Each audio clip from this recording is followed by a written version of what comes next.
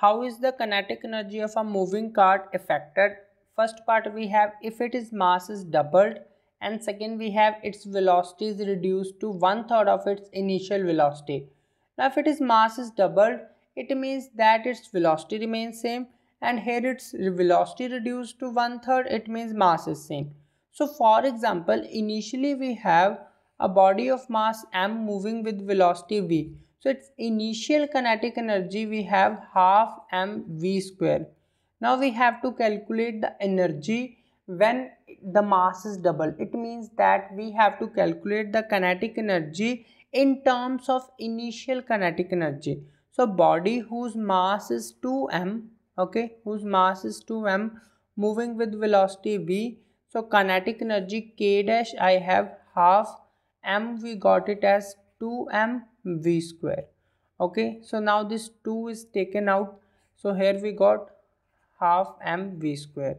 So this half m v square is nothing but basically a initial kinetic energy. So final kinetic energy k dash we have 2 times initial kinetic energy. So here i can write it as the final kinetic energy get doubled. And how much is the increase so increase if I'm talking about in kinetic energy which is final kinetic energy minus initial kinetic energy.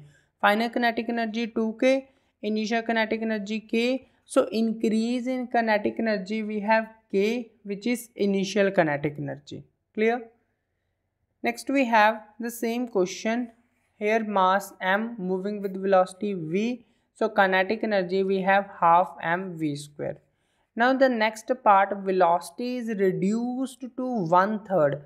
It means that final velocity we have v by 3 reduced to one third means one third of an initial velocity which is v by 3 so final kinetic energy we have k dash as half m value same v now new v we have v by 3 so here we got it as 1 by 2 half m v square by 9 just take 9 as outside.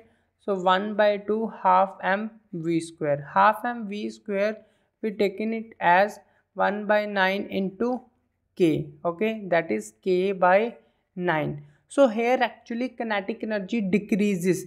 In that part kinetic energy increases. Here kinetic energy will decrease so we have to calculate now decrease in kinetic energy which is initial kinetic energy minus final means now initial kinetic energy is more and final kinetic energy is less.